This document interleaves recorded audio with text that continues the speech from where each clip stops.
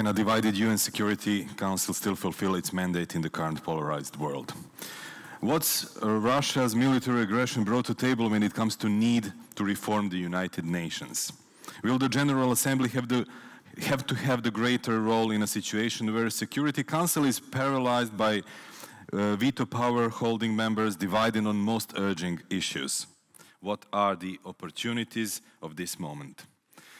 To question some, to answer some of these questions, speakers in this panel, and among them are representatives of two current members of the United Nations Security Council, Switzerland and Albania, are as follows. Ambassador Thomas Gürber, Swiss Deputy State Secretary, Head of the UN Division, Karin Landgren, Executive Director of Security Council Report, Božena Forštnarič-Boroje, Acting Director General for Multilateral Cooperation at the Ministry of Foreign and European Affairs Republic of Slovenia, and Gazmend Turdiu, Secretary General in Ministry for Europe and Foreign Affairs Republic of Albania. Mr.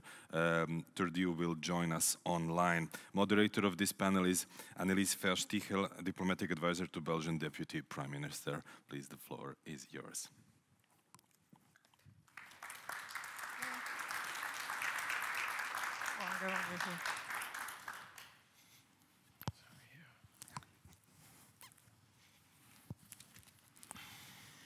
Good morning, everyone. Thank you for the audience to show up for this first panel this morning. Um, I have amazing panelists on this panel, um, and I have an opening question which I will ask everyone. Um, and this opening question is, why are many losing faith in the Security Council? Is the glass half full or half empty? And uh, let me first give the floor to Thomas. Well, thank you very much, uh, uh, Annelies, for this uh, question is the glass half full, half empty? This presupposes a full glass, which uh, you know could stand for uh, you know an outcome to which everybody agrees, uh, a harmonious uh, uh, you know spirit in the Security Council. I'm not sure whether this image has ever corresponded with what the Security Council was set up to do. You know, this is a body which should uh, deal with the most complicated controversial issues uh, in the, in the uh, peace and, and security space. Uh, it has not been set up to generate uh, harmony. It has been set up to generate to, to manage situations such as the ones we're currently facing. So maybe the question shouldn't be how many glasses have we been able to fill, but how many glasses have we been able to prevent from breaking? You know, this is uh, certainly uh, the mindset with which we as Switzerland have entered uh, the council. And uh, while it is true, you know, that we have seen a high level of uh, dysfunctionality, uh, a lot of tension and controversy, uh, obviously around uh, the Ukraine context. The fact that the council hasn't been able for two consecutive months to agree on a program of work is also an indication of this. But we shouldn't forget that the Council has also been able to agree, for instance, on 26 resolutions since we joined this body you know, important decisions have been taken in other areas. So it's not, it's not entirely true that uh, the council hasn't been able to, to, to, to function. But it is a challenging, uh, uh, a challenging dynamic. What can be done? You know, we certainly, uh, and certainly during our presidency in May, we've tried to, you know, uh, uh, influence positively all the elements which we can influence to uh, foster a constructive discussion by uh, good preparation of the meeting, choosing the right discussion formats, uh, inviting the right briefers so that the council members can have a, a full uh, picture, uh, you know, implicating different voices, civil society voices, you know, looking for a, gender, a sound gender balance in the briefer in the briefers uh, who come. So these are elements which can contribute to uh, meaningful decisions. And then there are challenges, uh, for instance, in the, in the peacekeeping space, you know, many open questions. And uh, is it good, is it bad? It is as it is. You know, we need to deal with it and find uh, uh, viable, you know, meaningful alternative solutions or ways of using the UN as a, as a tool. Okay, thank you very much. Let me now turn to the other member, current member of the Security Council on this panel, Albania, Gazmend. Do you have um, do you have a reply to this question? Is a glass half full or half empty?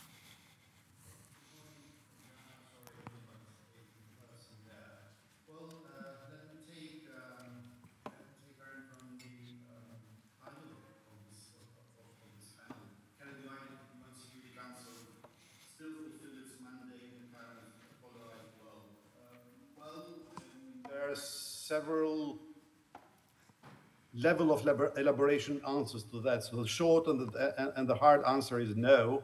Uh, the other one could be it, it, it can hardly can.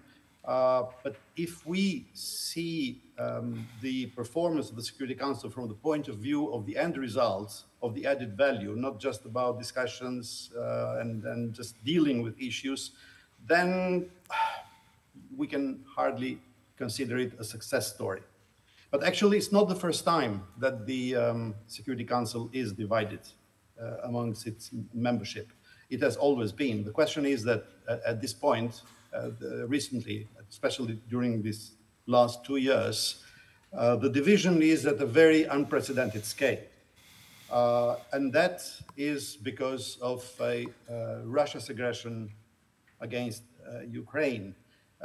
What we can see here, one of the um, permanent members of the Security Council, uh, a country that has taken uh, special responsibilities since the end of the Second World War for peace and security in the world, started to become rogue because uh, it has attacked a member of the Security Council, uh, sorry, a member of the United Nations organization, uh, an independent democratic country, uh, and this is an unjustified illegal aggression. So how can we expect that uh, for matters of such importance, uh, when uh, one of the permanent members of the Security Council is involved in an aggression, uh, the Security Council can deliver. Actually, it can't. And, and I'm sure that it's not only about matters directly related to this aggression or to Russia, but it's to even other uh, matters of critical importance in our, in, in our space. So um, I fully agree with the answer from, uh, from, from Thomas that uh, there are several glasses and how we can prevent breaking of some of, some of those glasses. But um, unfortunately, we, uh, we have seen some glasses that have been broken. Okay, thank you very much. Uh, Božena, Slovenia is coming in in January. Um, what are the views of Slovenia uh, with regard to the Security Council? Is the glass half full or half um, empty? Uh, first of all, Karin, thank you, and thank you, organizers, actually, to inviting us also as an incoming member, which is you have a slightly, maybe not yet uh, a full, clear uh, view on how the things are done behind the curtains, but still you're coming in and get the sense of it. So maybe uh, slightly from more um, general point of view. Uh, first of all, you know, Security Council is not per se up there, it's a part of the global multilateral system, it's a part of the UN. And as we are observing in the UN how, you know, things are done in the GA and in ECOSOC, that is very much reflected in the Security Council. So global context, where we are today. Um, coming from that, uh, what was already mentioned, yes, what we see is what Security Council is not able to do because that's out there and it's in the public and it's debated. But there are many things that Security Council is able to do and has done in the past and in recent years, and probably those who are members can elaborate a bit more. But um, that means that it does work up to the point it still needs to be, I'm not going to say updated, but see in the current situation, today's world, um, be more reflective of the, how the world is at the moment. Um, and maybe to remind, um, I was listening to the speech of General Secretary Guterres uh, at the last opening session, and what he said very bluntly was, yes, you know, these institutions, uh, UN and so on, um, were the reflection, were the outcome of the Second World War. So, and we are not at that time anymore. World has changed, a lot of things have changed. So we have to adjust the functioning of those institutions as well. But at the same time, um, he also mentioned that when we are talking about the reforms of these institutions, it means also it's about power and it's about the, uh, how should I say, um, compromise. So that's a very difficult, so it's up to the member states not just the UN per se, it's up to the member states to put that vehicle back in drive. As I, as I seen it, UN, international organizations, are the vehicle, and the member states are the drivers. So organization can do, Security Council can do as much as the you know, members are willing to do. And always the greatest responsibility in the Security Council is on P5 members. That's always. But I think that over the years, elected members are gaining, I'm going to say, the weight of voice, and also with inclusion of General Assembly, um, having a different role, not primary role in peace and security, but still um, uh, kind to, to not to change the course, but kind of to add to the efficiency. So it's better to have the UN and it's better to have the system than without that. Thank you. Karin, how bad is it and what can be done? Thank you, Annelies, and thank you to the organizers. It's important to remember that the Security Council reflects the state of geopolitics in the world. And I think we would like the Council to be better than the world around it, to rise above what's happening, but in fact, it's very much the same. Interesting that last year, notwithstanding the invasion of Ukraine, the Security Council adopted pretty much as many resolutions as it had in 2021. The number has been in the low 50s uh, for some years. So outwardly, it looks like, well, it's functioning as it functioned before. What we sometimes don't see is that behind those resolutions, there is much less unity in 2022 than there was in 2021. So there's tended to be about 80, 80 plus percent of agreement among council members behind the resolutions they adopt. Last year, that fell to about 63%. So these already heavily negotiated and compromised products have declining levels of council agreement. What we're seeing this year is even a lower level of resolutions. We're at close to 30 resolutions, and we're already most of the way through the year. So there is a dysfunction coming in to the way the council operates. I think one of the uh, biggest challenges for the council is that there are so many issues it won't discuss at all. So a number of fragile and conflict-ridden situations are nowhere near the Security Council's agenda. We've seen over the past few years that it was very difficult for the Security Council to discuss the emerging conflict in Tigray, and it is not currently discussing the situation in Ethiopia at all. So seeing more and more issues left off the Council's agenda is a worrying development. And the other development I would have concerns about is you know, the Council has limited tools in its toolkit. Uh, under Chapter 7, it has enforcement actions of various kinds. But there is a growing disinclination of Council members to apply sanctions, to apply UN sanctions. And we see them moving away from wanting to impose sanctions on uh, member states who are taking action against international law, against basic principles of, of the Charter. So I would say that the Security Council feels like a very volatile place right now. Do you want me to go on with some things that could be done? Not to end on an uh, overly uh, negative message. Well, one thing we're seeing, of course, is the turn towards the GA, which was very new last year. The veto initiative, where the GA will discuss every veto, uh, every issue that has been vetoed in the Security Council within 10 days. That's extremely important. It's amazing that it took them almost 80 years to get to that stage. Whether that will make a difference, I would say the jury is still out. They've had five such discussions. Does it add to pressure not to use the veto, or does it just give the vetoing state another stage to explain why it did what it did? We don't know. The idea, of course, is that it will add to the political cost of using the veto.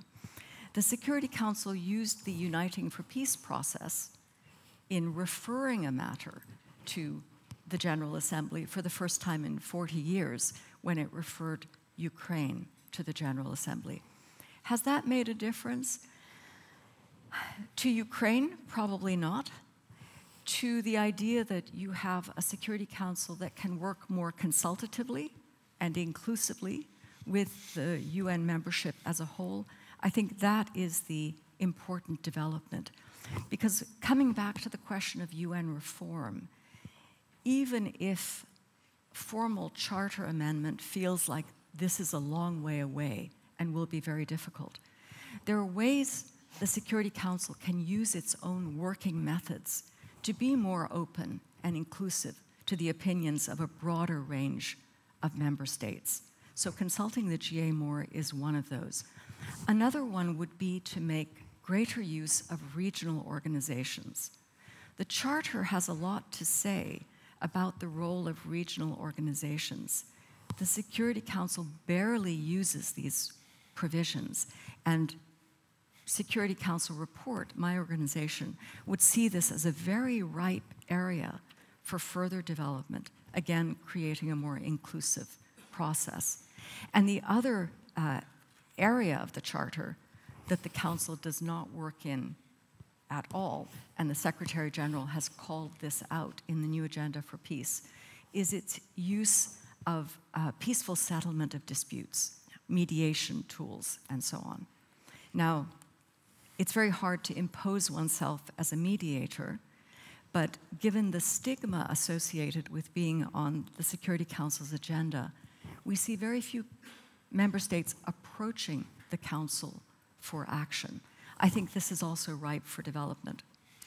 Thank you, Karin. You touched upon many different elements, and let me take a couple and elaborate on them further with the uh, other panelists. So you refer to the Liechtenstein initiative, namely the resolution adopted last year in the GA, where when a veto right is used in Security Council, um, the Security Council members have to explain it to the GA. Other initiatives have been taken, um, and they approach different tracks. For example, uh, there were suggestions to enlarge the composition of the council, or also to work specifically on the veto right and the procedures of the council. You had, for example, the ACT group initiative. Um, in 2013, they proposed a code of conduct for not using the veto right um, for the most serious crimes, crimes against humanity, war crimes, genocide. You also had the Franco-Mexican uh, initiative in 2013 on uh, not using the veto right in case of mass atrocities. so many initiatives have been taken. Thomas, what do you think of those initiatives, and have they worked uh, or not, and, and what are the reasons? Well, thank you very much. So indeed, the uh, uh, unprovoked Russian aggression against uh, Ukraine on the 24th of February last year, uh, I think has really uh, given new impetus to this discussion. You know, we and others have consistently condemned this uh, violation of international law and the Charter, but uh, uh you know, the toolbox uh, has not been sufficiently equipped to actually take action uh, on this on this aggression. So it's it's true that you know the Charter is very difficult to amend. There are very high hurdles. We, uh, and there is a discussion on how this could or should be done. Uh, if the time is ripe, uh, of course, we follow this discussion. We have our views, but our focus really is on what can be done within the parameters of uh, the Charter. And there are many things that can be done. And, you know, uh, Karin alluded to some of those uh, things. the ACT group, a group of 27 member states, and Switzerland has chaired this group for over 10 years now has tried to identify such uh, uh, opportunities and uh, to create more accountability, transparency, and coherence. And the Liechtenstein initiative uh, really uh, falls in that category. You know, uh, maybe it does not have the potential to legally, you know, generate new realities, but what it does, you know, it, it is an articulation of a collective awareness and also conviction in terms of uh, uh, Uh, uh, in terms of the gravity of certain, uh, certain uh, violations of, of law when the veto is cast to prevent any, any action by the Council. Uh, and as Karin has said, we've uh, seen five such uh, GA debates in the context of this Liechtenstein initiative. each time, I think the, the, delegation which cast the veto was present in the room. So I think it was a symbolically charged atmosphere, and we uh, we believe it also has a preventive effect. You know, it does, uh, you know, increase the political cost. You know, I do think that uh, uh, uh the veto powers in the council will reflect twice. You know, because they know that there will be this uh, public hearing, as it, as it were, or moment of of accountability later later on. uh, and the code of conduct, you know, goes in the same direction. We've even though we cannot uh, remove the veto because it, it's a charter provision, uh, we consider it to be uh, uh unhelpful, you know, in, in finding, in taking, you know, uh, moving to decisions in the council context. So uh, the code of conduct is also a, a, tool to try to frame the use of this instrument. And we've been happy to see that in the last few months we've actually been able to convince 170 members states, you know, 130 member states, sorry, more than two thirds of the GA to subscribe to this principle, which is, a, again, a strong signal without immediate legal effect, but uh, you know, I think uh, highly symbolic. How, how, many P5 members have signed the code of conduct? Well, obviously, you know, those who use the veto the most will, uh, of course, uh, not sign it. You know, not ready to sign it you know, uh, some uh, have signed it, you know, France and the UK have signed it, you know, and, uh, you know, so this is a dynamic process. It's not a static situation. And we, I think, uh, this is how also new legal realities are generated. You know, it's, it's the, the development of, of a certain, a certain collective conviction which can lead us to to maybe to, to improvements. And let me also use one other provision or discussion, which is uh, going on in the same context, you know, uh, uh, uh focused on Article 27.3 of the Charter, which contains a provision uh, saying essentially that uh, if you are party to a dispute and the Charter, you know, places this under Chapter 6 situations, then you should not, you should abstain from voting. And this discussion came up again in the Ukraine context uh, when there was a discussion whether uh, you know uh, measures under Chapter 6 or 7 should be taken and what that would mean for Russia, you know, uh, given this provision, Article 27.3. And I think, again, you know, it is uh, dysfunctional uh, that a party which is involved in a conflict should be the legislator, but also the executor and have a judicial role also, you know, in the same context. It's dysfunctional, and there is discussion on uh, whether uh, you know the uh, collective view of the membership can be articulated in some way to strengthen this idea and maybe also to extend it to, to, not only limit it to chapter 6 situation but even to chapter 7 situation of course again uh, you know this will not develop uh, uh, any legal force but it can be the expression of a collective understanding of where things should be moving Thank you. Before I give the floor to Gazmend, uh, I want to come back to the right to veto. Karin, um, so many see the existence of the veto right as the problem of a dysfunctional Security Council. What are your views? I think that's, it's very easy to go to the veto as the problem, but we have to remember that the veto is the price that was paid for having a charter in the first place. The core members, you know, the charter was drafted by the US, uh, the UK, Russia, uh, Soviet Union then, and later China. And even for these four countries to agree on the contents of the charter was an enormously difficult process. So this is also worth bearing in mind when we think about charter amendment, how much more difficult now to reach agreement on something that, for the first time, actually curbs the sovereign right of nations. It binds countries to accept resolutions of the Security Council. It binds countries, giving the Security Council the right to decide to use force. These things were radical in 1945, and they would be even more radical today. They would probably not be possible today. So, when in his first address to the Security Council, President Zelensky said to them, if all you can do is talk, uh, maybe you should dissolve yourselves and start again. But I think everyone understands that starting again today would lead to a weaker product, not a stronger product in terms of the charter. And we have to see the veto in that context. The permanent members are not going to accept provisions that curb that restrict their ultimate right to protect themselves against decisions of the membership as a whole.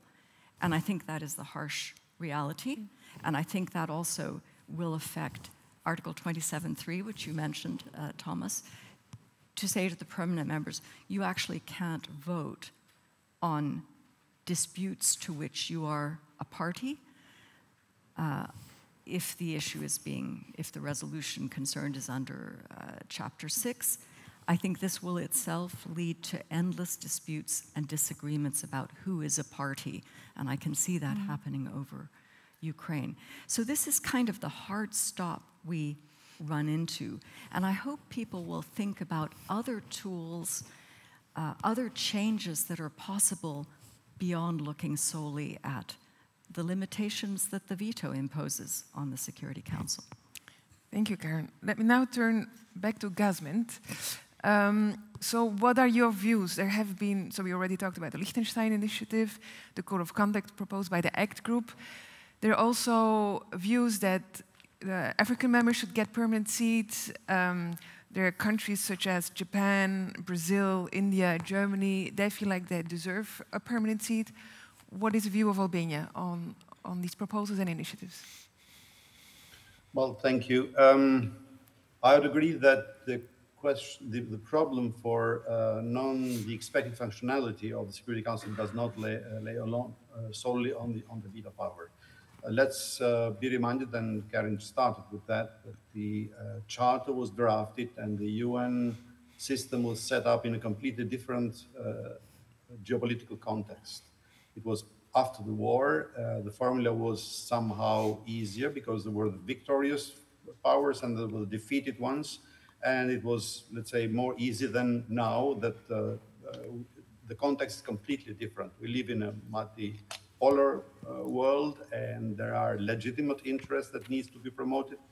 Uh, but just the fact that so many initiatives are around uh, is an indication that there is a broad understanding that the UN system, including the, uh, or maybe starting from this uh, UN Security Council, needs a, uh, comprehensive uh, reform. The question is how. This is where uh, disagreements are, are, are, visible. So everybody agrees we need to do something, but how to do it, then discussions go on from, since, since decades. as it would not be expected a, a, dramatic change in this respect, so a, a, a comprehensive reform that, that happens in a uh, relatively short time, then perhaps we need to get focused on these initiatives that can improve somehow the functionalities of all the bodies, including the, the, the, the Security Council. Uh, aware of this problem, uh, Albania, when uh, entered this, were preparing to enter the, the, the Security Council, uh, we were setting our priorities, and one of our priorities was the uh, the working methods of the Security Council, and this is why we uh, applied for uh, chairmanship of the informal working group, and we got it. And we tried to do our best, continuing from uh, the work done by our predecessors there, to uh, kind of contribute together with the other membership of the of the Security Council to make the body more transparent, um, more effective, and, and, more accountable. And this is in the general framework of all the attempts that uh, uh, and the initiatives that are taken here and there in the General Assembly uh, to improve uh, the functionalities of, of, of, of this body. Um, what we did, we tried to, we, we, first we, we we had the meetings that were uh, planned for, for, for, this purpose, and there were discussions, comprehensive discussions on the on, on the on the working methods of Security Council.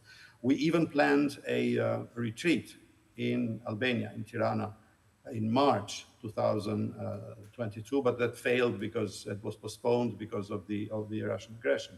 It happened later on in October uh, last year, and it was a, a good, uh, let's say. Um, uh, opportunity to make visible again once more the uh, the challenges that uh, that this body is facing. Regarding the reform, Albania does not have a position in how the reform should should should should, should happen but we understand that there is a need for more, uh, let's say, balanced representation that would reflect the, um, the, the, the, global situation. Uh, African countries should be uh, more represented. Talking now on behalf of, let's say, the region where I'm coming from, uh, we believe that another member from the East European group would help balance more the, the, the, the, representation in the, in the Security Council.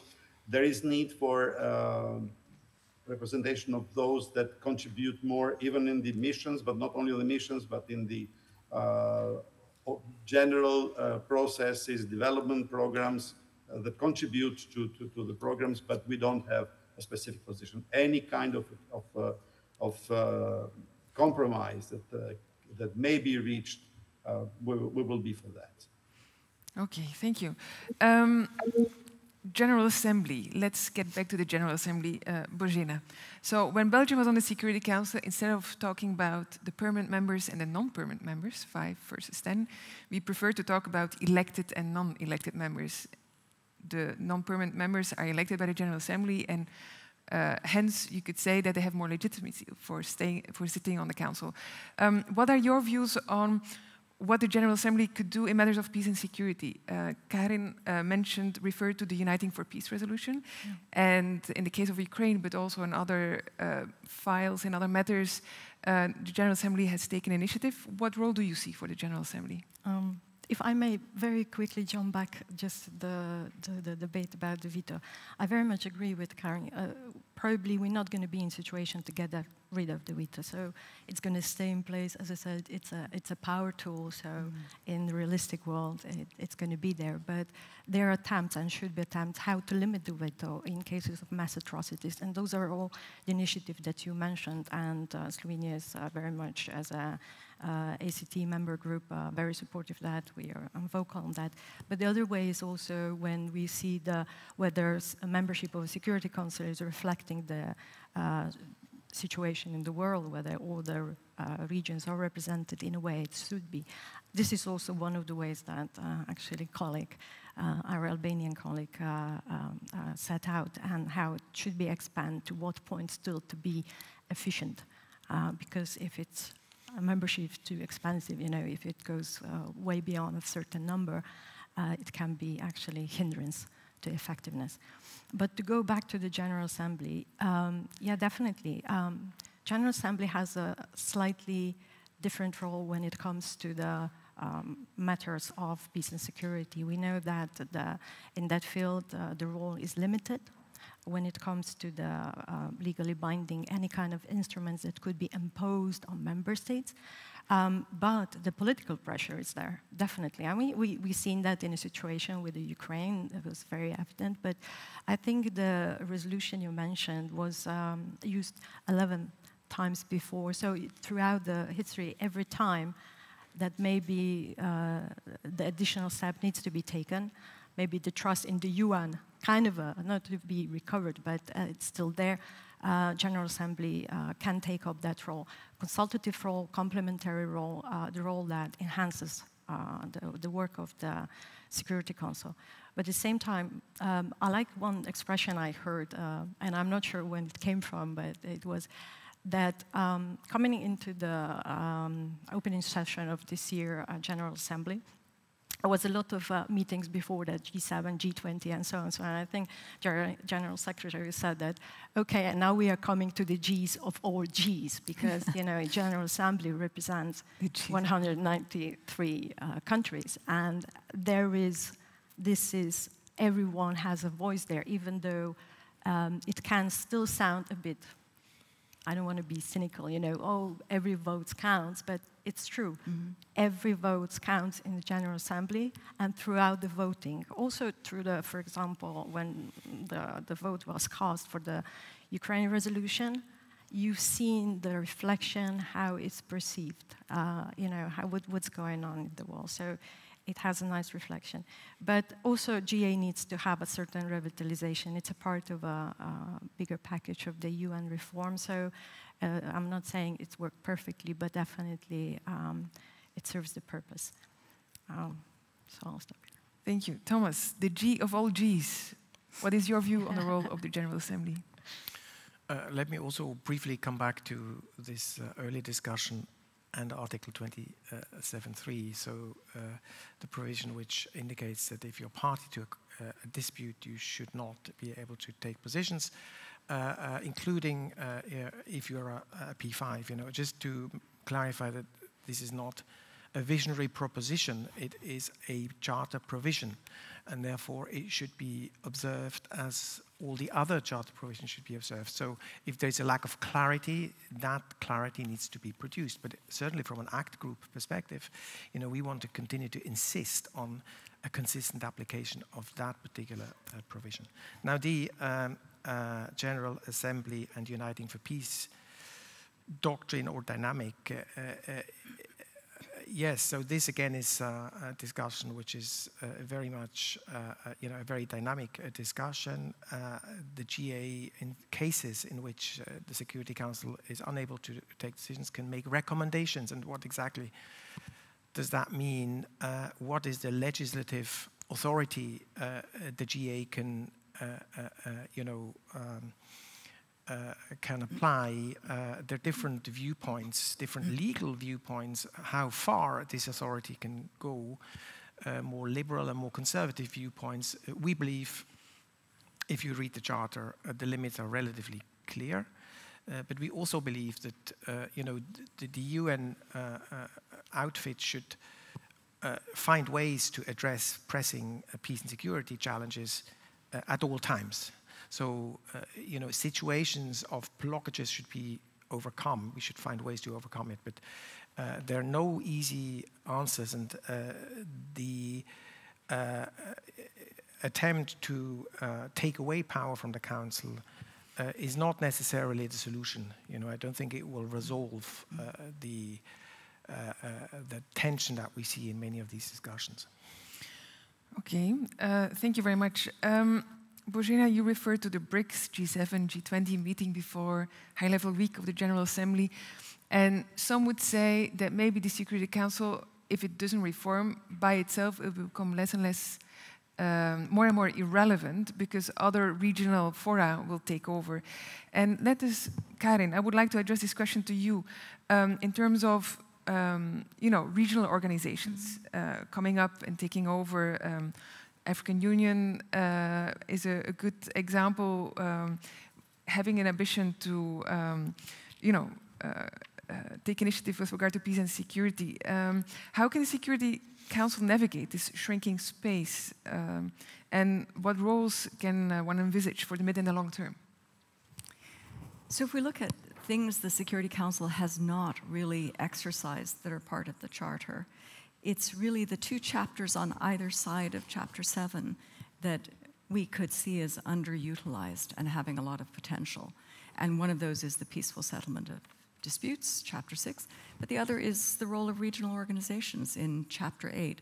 The council actually has a lot of authority to ask regional organizations to take action, and regional organizations themselves can take action and coordinate with the Charter.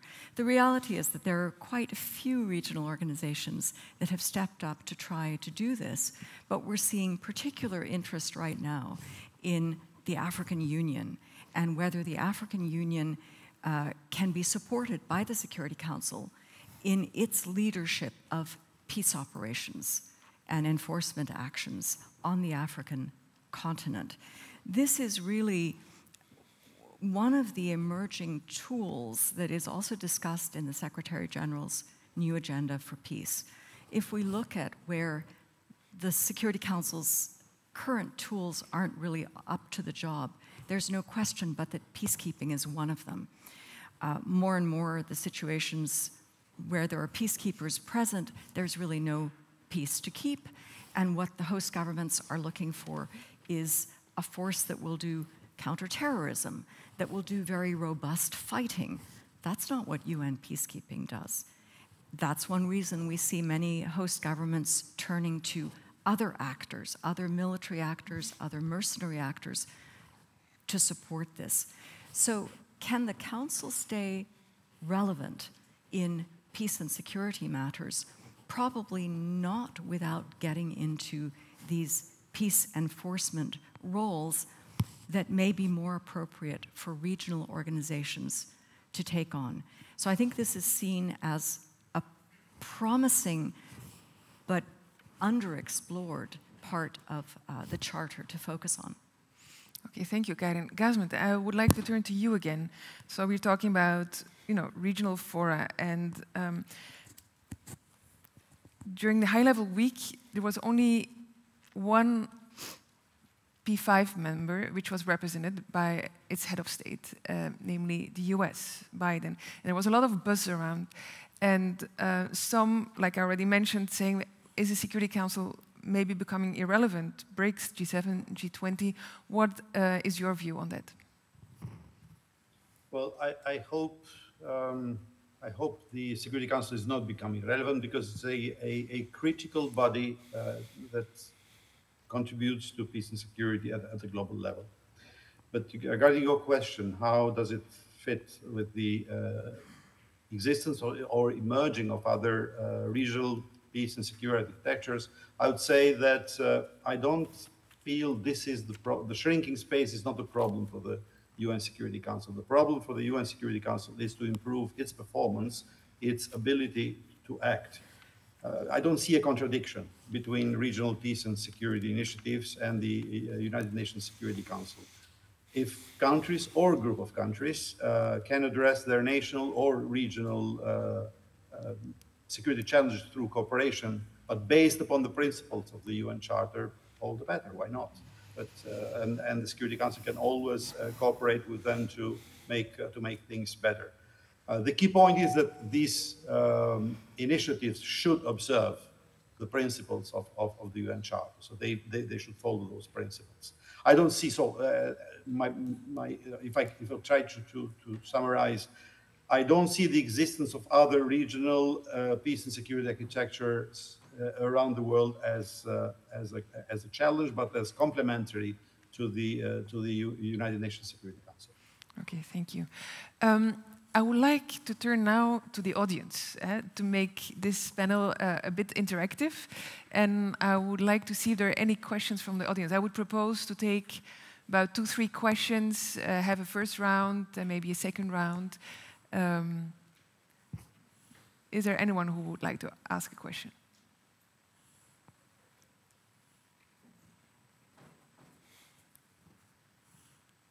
I see hands here, there. And can you also maybe briefly introduce yourself before you uh, ask the question? Thank you. Thank you very much. I'm the Austrian ambassador to Serbia. I served at the Security Council 2009 2010. So we started with um, crisis in the Middle East 2009 in January, and we pretty quickly uh, encountered Realpolitik as a non-permanent member, uh, and um, this kept on during uh, our membership. But I wanted to ask you, as experts now at the current Security Council, and uh, with regards to the debate on Security Council reform, how can you involve the P5 uh, to avoid a parallel world of discussions? Uh, you have the General Assembly initiatives, you have many non permanent members active and discussing, uh, as we do here but we, I don't see any permanent member uh, engaging. So what kind of possible initiatives to engage with the permanent members or even to force them to engage in this discussion uh, you could see? Thank you. Thank you. Maybe a second question. I saw a hand over there.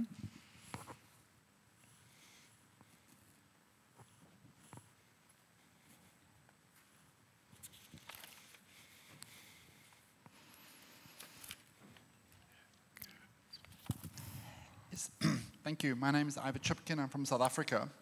Um, in South Africa, of course, there's a strong uh, critique of the UN, a greater focus on the BRICS, uh, not as an alternative to the, to the UN, but certainly as an, uh, as an alternative political space that is emerging, representing uh, um, all sorts of grievances relative to the international system what strikes me about the African conversation and the conversation happening at the level of the AU as well and in African countries is the absence of the UN in many of the key conflicts in the world, both on the African continent, but especially now in the Middle East. The UN seems to be quite quiet, also in, in leading conversations around resolution in, in the Ukraine.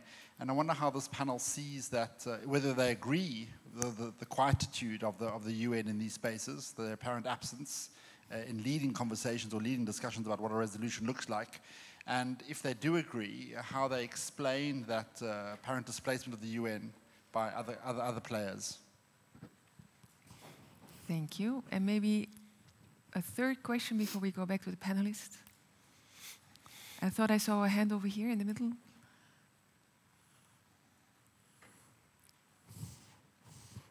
No?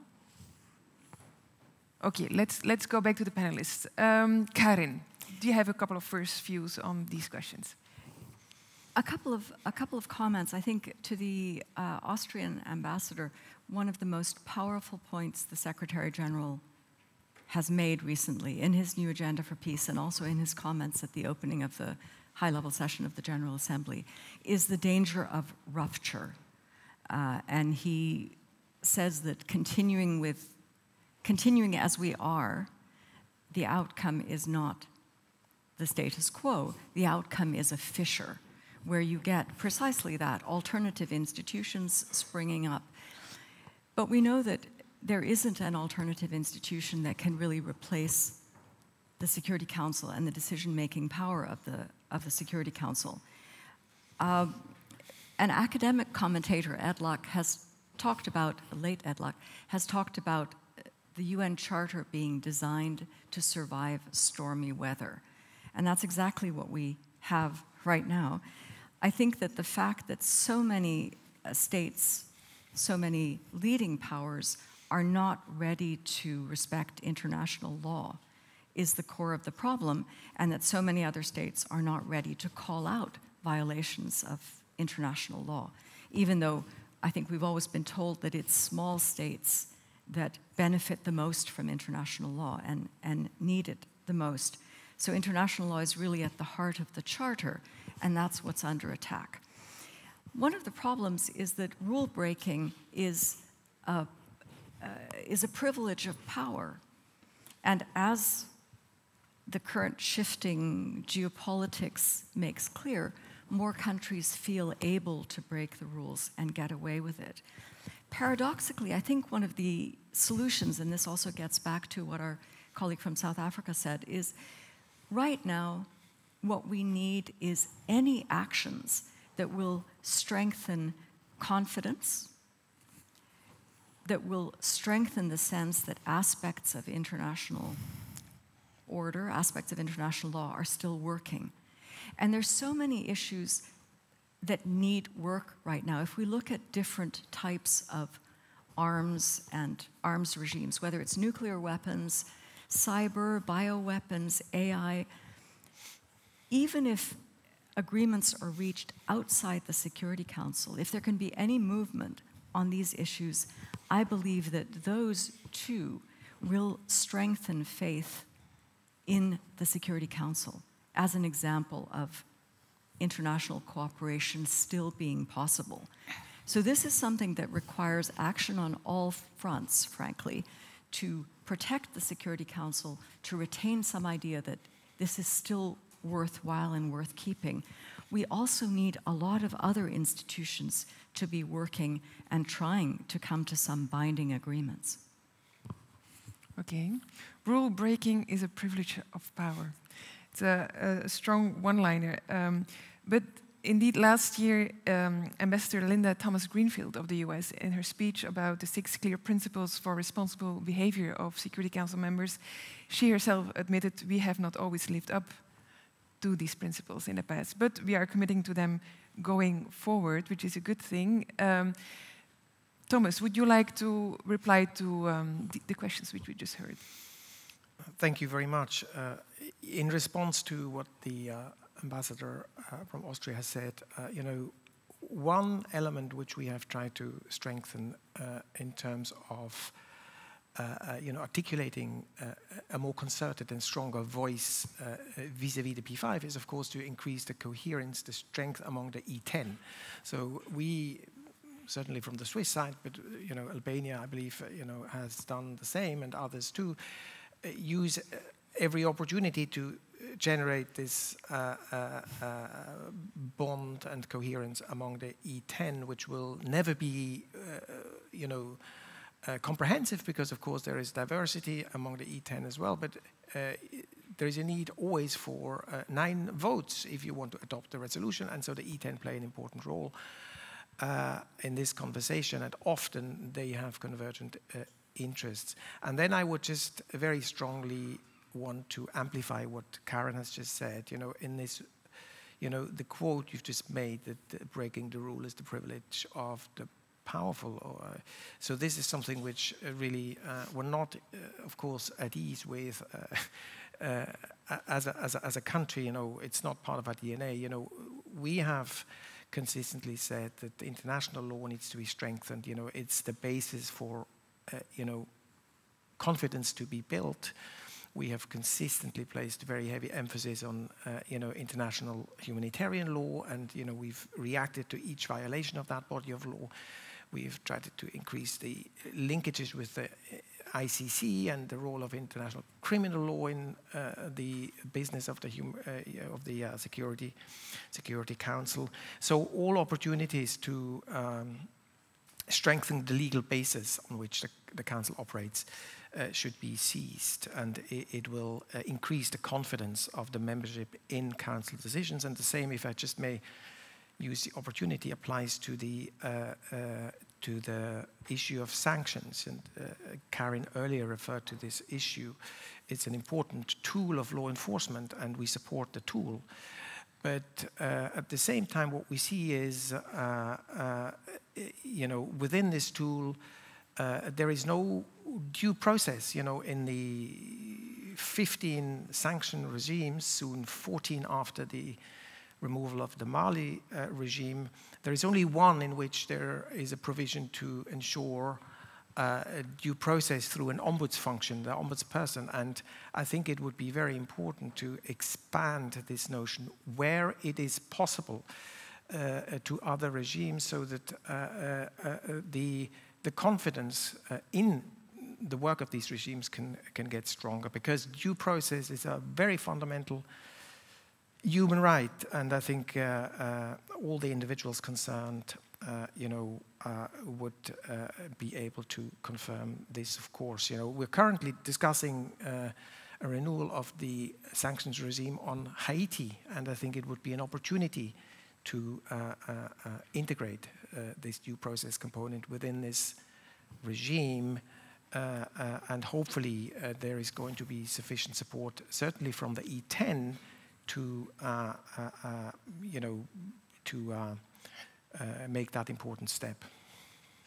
Okay, thank you, Thomas. So you were referring to the different tools the Security Council ha um, has, sanctions, special political missions. We recently uh, celebrated the 75th anniversary of special political missions, uh, peacekeeping operations. The last one the Security Council has been able to agree on, MINUSMA, if I'm correct, has been quite a while already mm -hmm. uh, ago. Referral to the ICC is another um, example. Mm -hmm. Are these tools still effective? And if not, what kind of reform is needed? I first turn to Božena and then to Gazmend very quickly on a few of the points that were raised. Um, I think we should never move from, from a principle point of view that we need to stick to the rule-based order. I mean, uh, it's, it's how the world works and respect for the international law, international humanitarian human rights. This is the basis for it.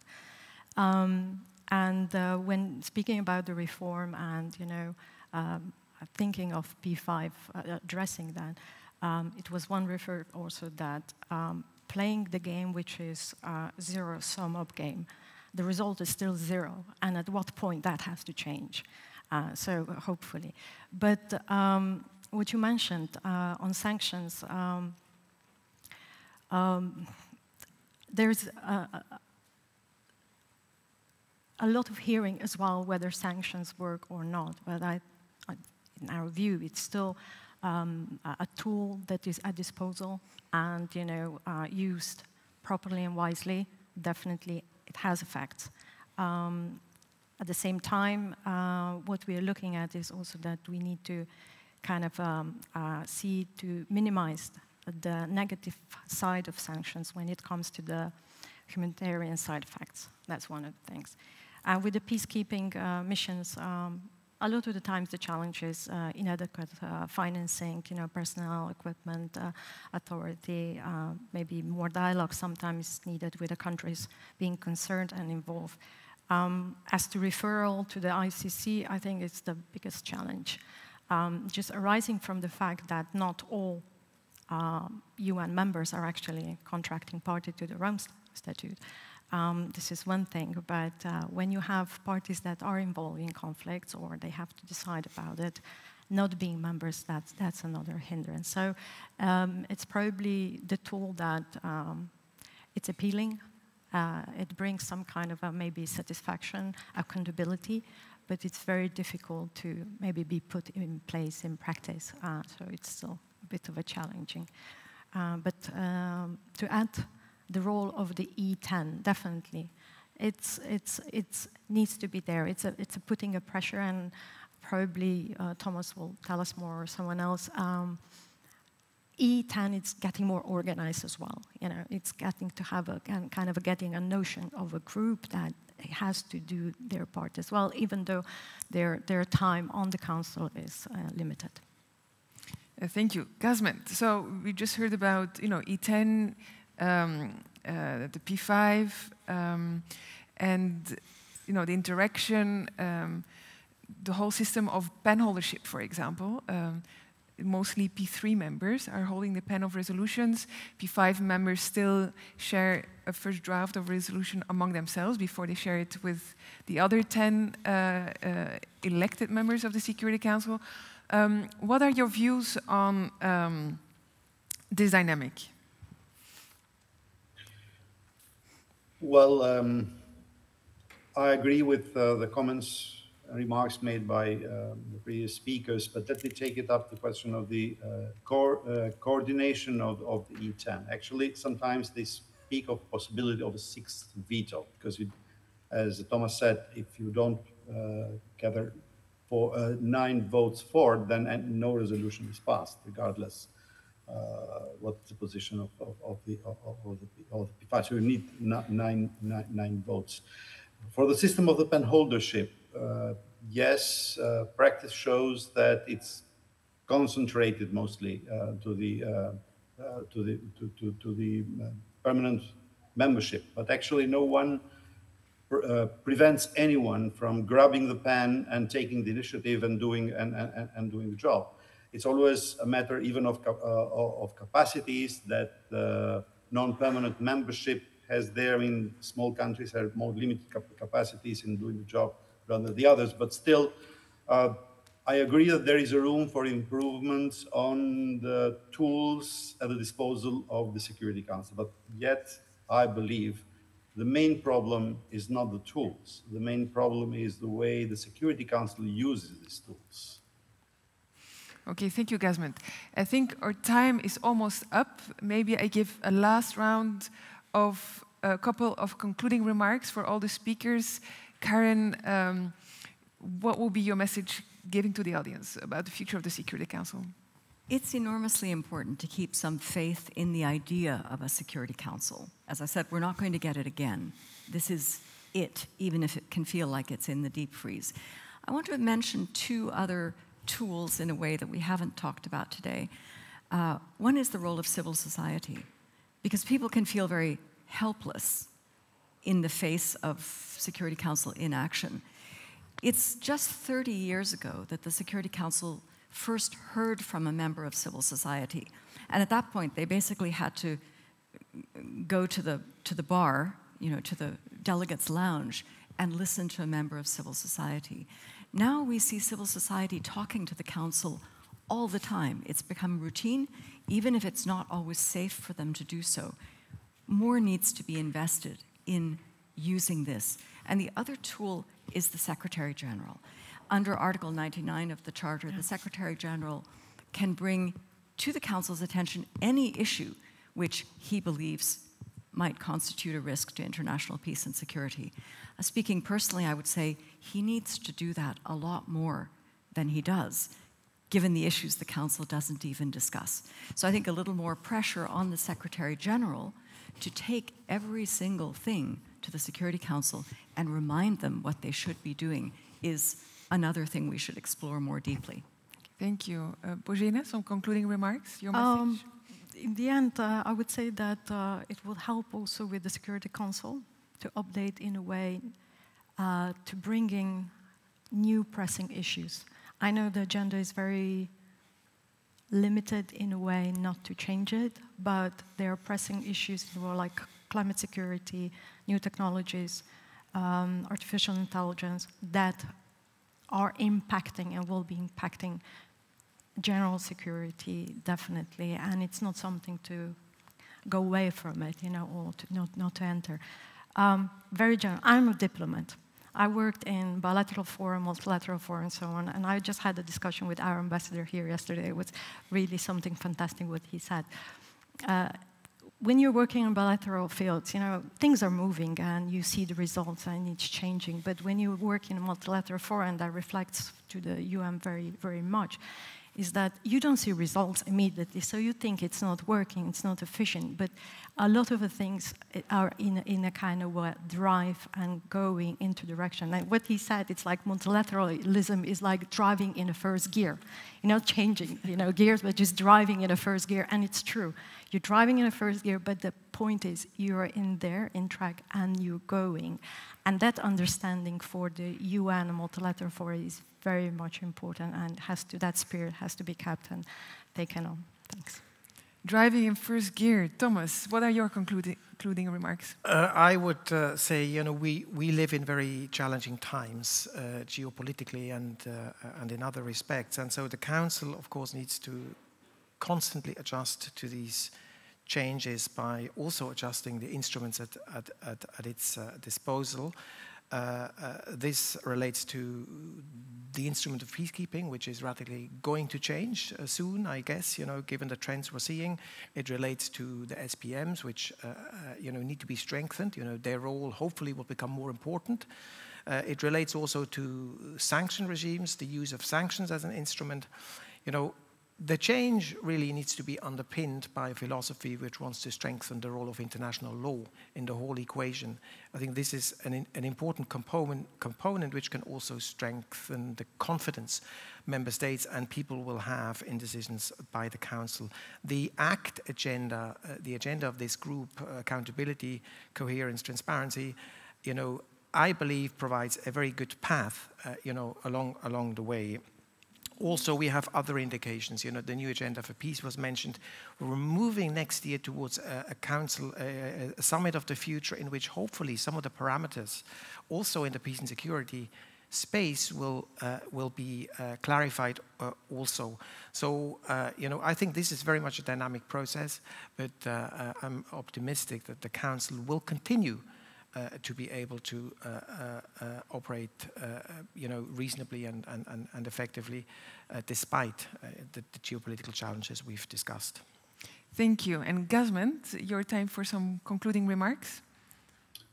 Well, um, we, we, will, of course, continue our discussions about the um, need for the Security Council to adjust, but we should always avoid uh, uh, questions about, uh, let's say, finding a replacement for the Security Council is an indispensable body which has delivered uh, for this um, seven decades plus of history, but needs to needs to go hand in hand with the changes the um, of, of, the of the general the global security environment, the global situation. Thank you. Well, I think this concludes the panel. Thank you all for your attention and we are ready for the next panel.